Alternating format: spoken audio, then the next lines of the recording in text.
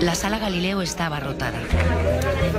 En la calle, la tristeza de los que ya no pueden entrar.